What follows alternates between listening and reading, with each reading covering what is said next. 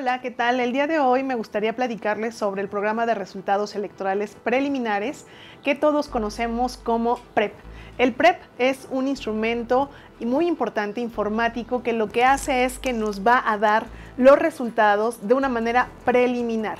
Cuando nuestras vecinas y nuestros vecinos han terminado de contabilizar los votos de cada uno de nosotros en las casillas, entonces llenan ellos algo que se denomina acta de escrutinio y cómputo. Esta acta de escrutinio y cómputo es el insumo principal de nuestro programa de resultados electorales preliminares y lo que nos permite es que podamos tener el resultado de la votación de una manera anticipada.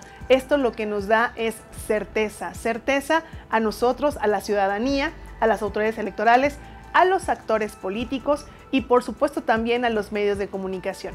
Es muy importante hacer mención que este programa de resultados electorales preliminares funciona desde hace más de dos décadas y justamente se lleva a cabo por y para poder dotar de certeza a la ciudadanía respecto de los resultados que todos y cada uno de nosotros y de nosotras podamos hacer la trazabilidad de nuestro voto.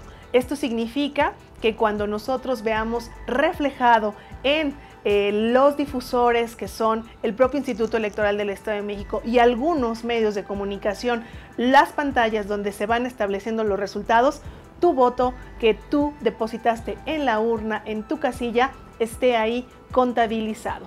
Esto lo que nos genera es justamente certeza respecto de el proceso democrático en el cual nosotros renovamos los diferentes ámbitos del poder. En el caso del Estado de México, en esta próxima elección que será el 6 de junio, estamos renovando 125 ayuntamientos y la Cámara local, 75 diputados locales que son los representantes de todos y cada uno de nosotros.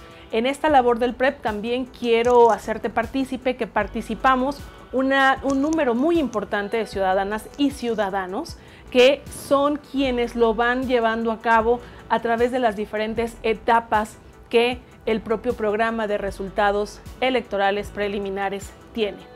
Es muy importante esta parte en la que hacemos énfasis en que ciudadanas y ciudadanos mexiquenses son quienes forman parte de todo el proceso de implementación y operación del PREP en sus diversas etapas, pues son mujeres y hombres mexiquenses quienes son quienes cuentan los votos, pero también quienes realizan una labor muy importante en el PREP como es el acopio, la digitalización, la captura y la verificación de estos resultados que han sido plasmados en el insumo esencial del PREP que son las actas de escrutinio y cómputo. Es muy importante este programa de resultados electorales preliminares. Te invito a que puedas visualizarlo el próximo 6 de junio una vez que hayas ejercido tu derecho al voto. Hasta luego.